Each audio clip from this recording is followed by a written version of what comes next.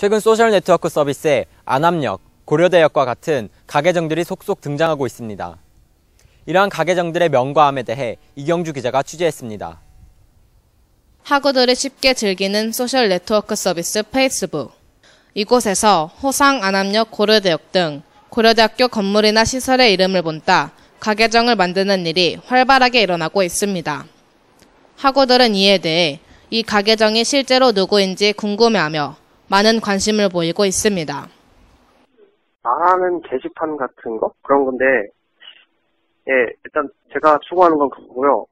뭐, 고민 상담하는 거 들어드리기도 하고, 아니면 심심하실 때 가끔 뭐 놀아드리기도 하고, 그러지만, 어쨌든 뭐, 자보로 붙이기엔 조금 약한데, 아니면 홍보가 덜 돼서 여러분이 잘 모르시는 거, 그런 것들을 좀 알려드리거나, 아니면 여러분이 직접 쓰셔서 알릴 수 있도록 하는 공간 되는 게제 목표고요. 제가 하고 있는 일이에요.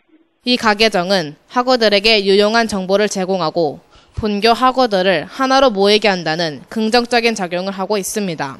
페이스북 가계정이 학교를 대표하는 일을 하면 전혀 문제될 건 없는데 뭐 재미를 뛰어넘어서 뭐 너무 과하다 싶을 정도로 사적인 대화가 오고 가는 거는 굳이 학교의 가계정, 가계정을 차용할 이유가 무엇이었을까 하는 의문이 들게끔 하거든요. 그래서 그런 면에 있어서 사적인 계정이나 다를 바 없는 페이스북 가계정은 좀 문제가 있다고 생각합니다. 하지만 이 가계정이 개인을 비방하는 용도로 사용되거나 대표성을 가진 이름으로 지나치게 사적인 모습을 보이는 것은 자칫 학우들에게 불쾌감을 준다는 부정적인 의견도 있습니다.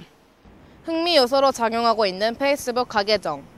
긍정적인 면을 잘 살려 학우들의 올바른 소통의 장으로 작용하길 기대해 봅니다. KOTV 뉴스 이경주입니다.